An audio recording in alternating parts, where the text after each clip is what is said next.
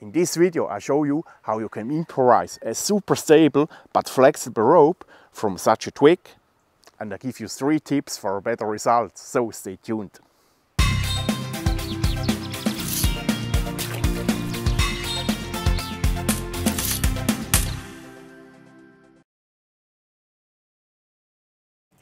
Hello YouTube! Welcome to another Swiss Army Knife project video. To know some techniques how you can improvise a piece of cord or rope from natural materials can make the difference in many bushcraft and survival situations. There are some roots which you can dig out which are flexible enough to making cord or rope, for example spruce roots.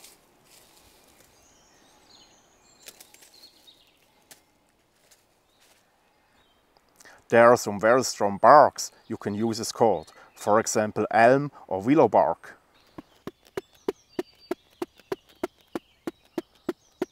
There are some grasses you can twist into a rope.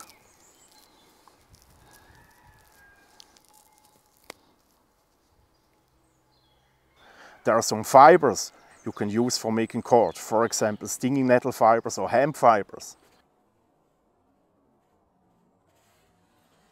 And there are also some twigs or small branches which you can use to improvise cord or rope.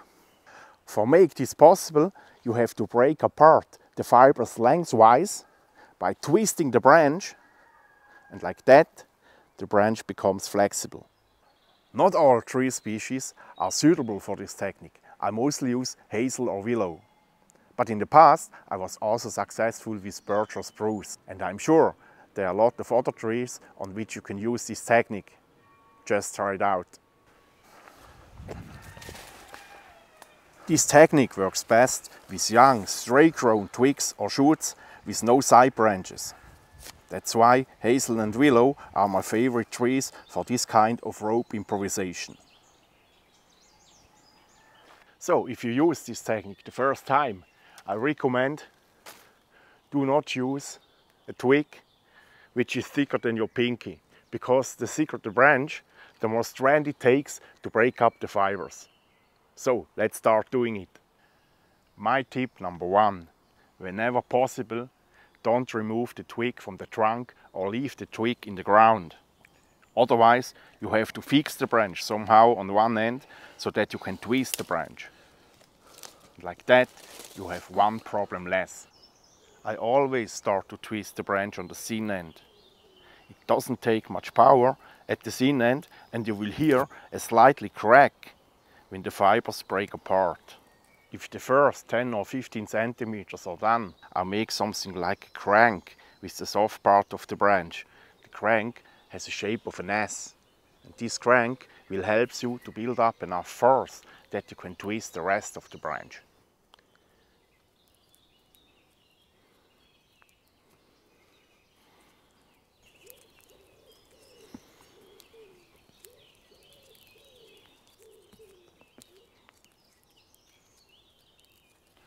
Often this crank technique works perfect, but sometimes certain area remaining stiff because the fibers do not break all the way through lengthways. These problem areas you find often around the side branch. Stiff spots can break if you want to use the twisted branch like a rope. That's why these places has to be reworked. But in most of the cases the bark is already flaked off and the wood is very slippery. In cases where you don't have enough grip or enough strength to split the fibers lengthways, I recommend my tip number two. Take a branch with a diameter about 2 centimeters. Split it lengthways until the middle. Now you can insert the branch into the gap. With this you can improvise something like a pliers which you can hold and turn the slippery branch very powerful.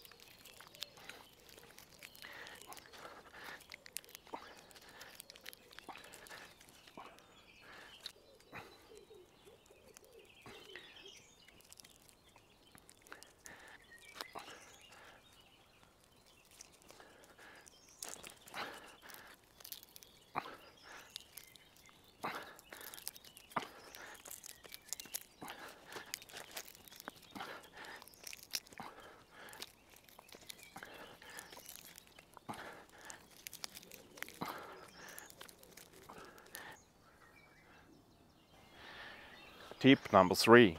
If you need more flexibility in the branch, you can also twist the branch in the opposite direction.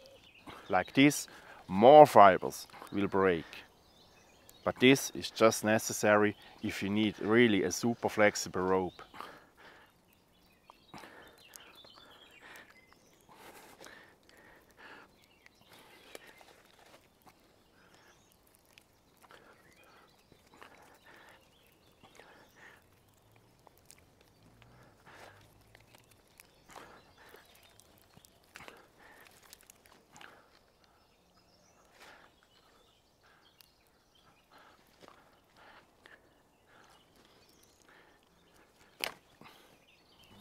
To increase the flexibility even more, you can also pull the rope carefully around the branch or trunk. Like this, but be careful.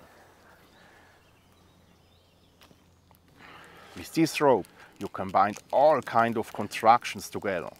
The best knots for these ropes are the knots where the rope clamp itself and where the rope doesn't make narrow turns.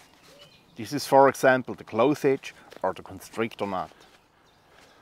You can bind together or secure a tripod for cooking over the fire in a pan. You can bind together a tripod for a shelter, for a chair, for a table or whatever.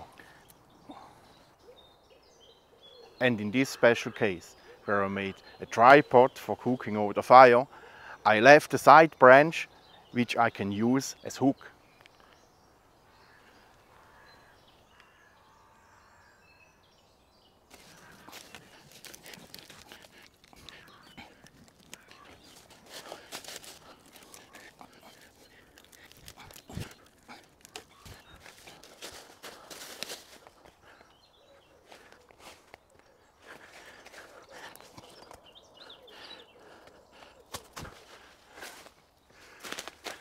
I learned this technique from my bushcraft hero Sepp Fischer. The link to his fantastic channel you find in the description box below. So next Friday I will show you my favorite project you can do with such a rope. So that's it for today. Thanks a lot for watching. Don't forget to subscribe to my channel and see you next Friday. Ciao!